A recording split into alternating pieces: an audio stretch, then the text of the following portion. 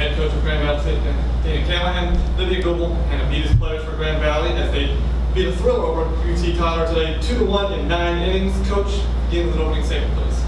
Oh, what a game. You know, what a game. Uh, one of the benefits of having the experience that we have on the field is I can, I can, I can trust them. Just put the ball in their hands and let them do their thing. So um, I got a few more gray hairs today, I'm sure, but uh, at the same time, I had all the confidence in the world in the, these guys.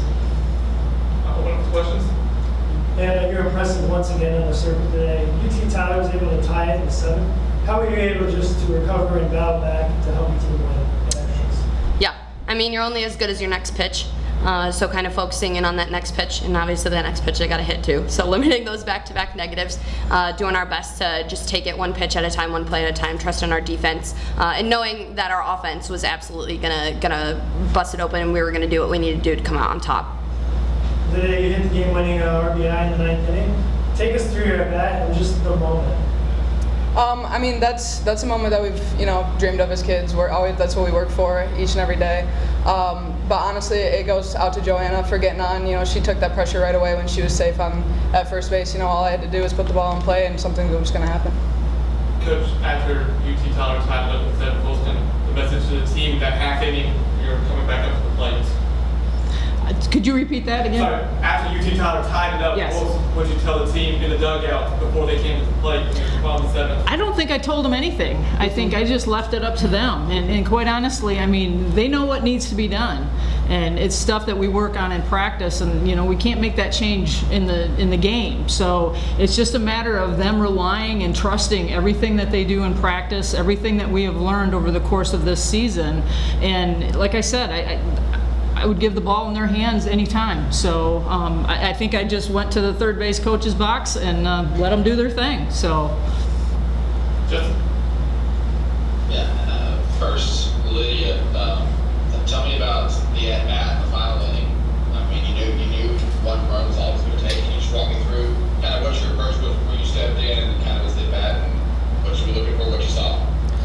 uh, so I just obviously was just trying to keep my heart rate down. That's a big moment that um, can be really nerve wracking, but I have full trust in my team, and that was a one through nine, even the players on the bench team win. Like, that's probably one of the best team performances we've had all year.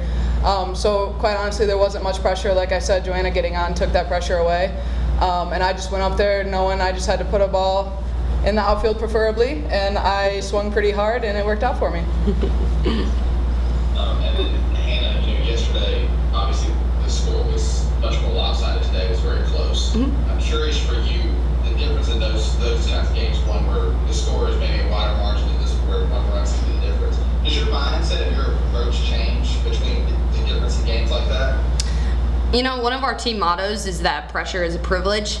So I think that this past game was just a total embodiment of that and just taking each moment for what they are, being where our feet are, keeping ourselves nice and relaxed. I think the biggest focus in that situation was uh, UT Tyler. They they get on base a lot with the walk and the hit by pitch, and as long as we could limit those, that's something that I control can control. I knew that my defense was going to be able to do what they needed to do to keep the game as close as possible because they are a good team, and uh, we executed that very very well.